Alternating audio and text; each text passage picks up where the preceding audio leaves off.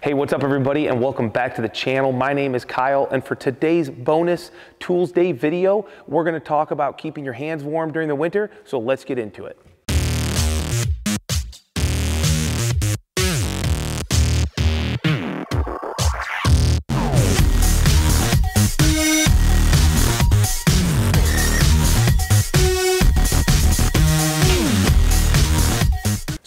The biggest questions I get all the time on my channels, whether it's over on Instagram or here on YouTube, is what do you guys do to keep your hands warm? Because you're out there working in the snow and the cold and still using screws and nails. Well, let me tell you, it's not using some gloves like this. These are the heated Milwaukee gloves that they're cool, I don't think I would ever buy them for the price point. I don't need them, but you can't work in these. These are great. I actually wear these sometimes when it's super cold and I'm going snowboarding, and they do work quite well, but honestly, they are so big.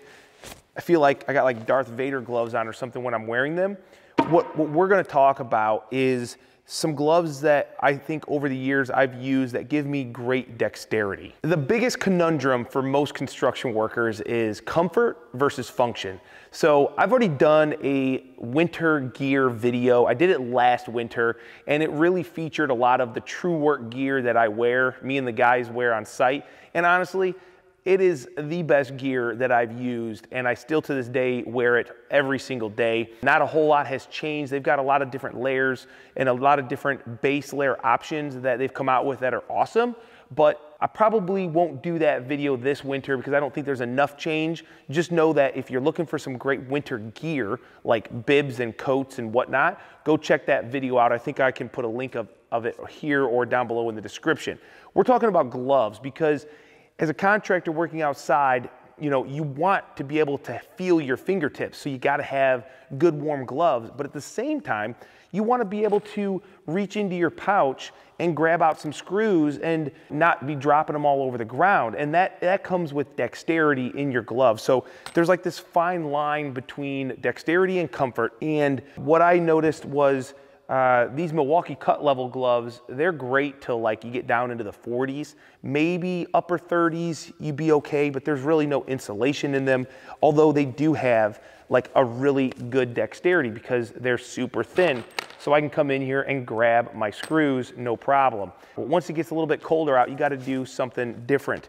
Now they've got these gloves here, which are a cut level one glove, which means they're gonna prevent you from getting cut to a certain degree, but you obviously can still get cut through them.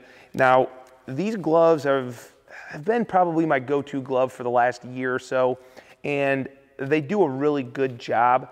I can still reach in my pouch and get the screws that I need and feel like I have fairly good dexterity. I can feel them a little bit but the biggest problem with these gloves that I guess I, I, will let you know, and I've heard it from a lot of different people, is they're great at, at the first couple days.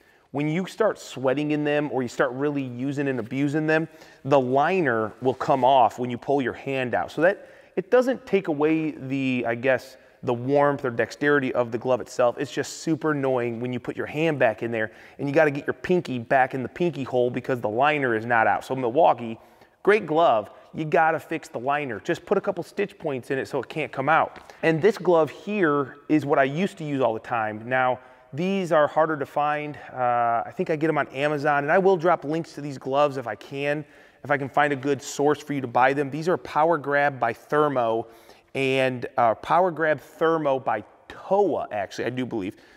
This is the only one I could find left. I bought like a 24 pack maybe like five years ago and they held up really well. What I like about these gloves is I felt like they maybe are a hair warmer. They didn't seem to last as well as these Milwaukee ones because there's no cut resistance to these things. So they, they break down and they get destroyed quite easily, but there's no liner. So it's like if I could put these two together, that would be awesome. I did try these gloves, which I think they have a great application, but they were like almost too warm for me. These are Ninja Ice, and I don't remember who makes these, uh, Memphis, I guess. The thing with these gloves is, first off, my hands were a little bit too big for the larges that I bought. And once you can kind of see, it just looks weird. Like the fingers are just weirdly shaped on this glove and they are super warm and your hands will sweat in them because they have a full water membrane protection so they're not going to get your hands wet which in the wintertime is like one of the worst things ever when you get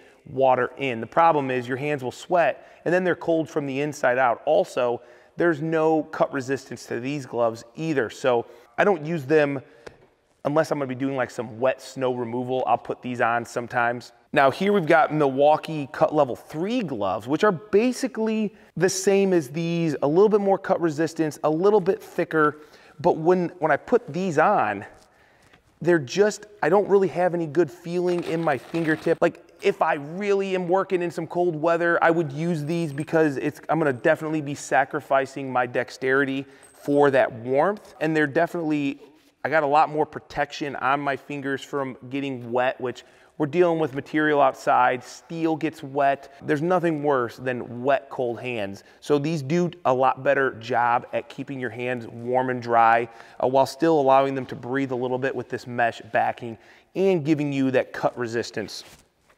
Now, if you're not gonna need dexterity, I haven't, I haven't had a whole lot of time in these gloves. These are new glove that Milwaukee came out with, and honestly, they're probably just like any other glove out there that is like this nature. To me, there's zero dexterity. Like these big fat fingertips, I can grab stuff, but I would never be able to, I would, I would drop a million screws if I was trying to use these or nails while I was out on the job site. So I think these are great if you're just out doing some material movement or something where you just needed some quick, warm glove. But once again, I don't know what Milwaukee's doing. The liner on these gloves is just a real pain in the butt. So this is what I use. I'm not saying there's not better options out there. I just get this question all the time and I want to share what I'm doing for anybody out there. One thing I will say that I've yet to do that a lot of people do respond to my, I guess, DMs or send me messages is get yourself some cotton gloves with those neoprene or latex gloves underneath. So you just put those little thin, cheap gloves underneath and that kind of acts like a barrier to hold all that warmth in and then a nice cotton glove over top. Honestly, I've never done it. I just keep rocking these because they seem to be the best mix between warmth, dexterity, uh, durability. I get my cut level resistance, which is a big deal for me working with steel throughout the winter. Cold, wet hands and steel do not mix. They get cut very easily. So I hope that helps you guys. The Milwaukee cut levels are good. Uh, this is not a sponsored video. I would buy these gloves when I run out. I will buy them again. So I will put some links below. Hopefully this helps somebody. I'd love to hear your guys' feedback. If there's another glove out there that is like epic and awesome for dexterity and warmth, because selfishly, that's what I want. I want, I want someone to tell me where the best glove is so I can stop wasting time with anything else if there's something better. So thanks a lot for the view, guys. I appreciate it. Hope you guys learned something and um, we'll catch you guys on the next video.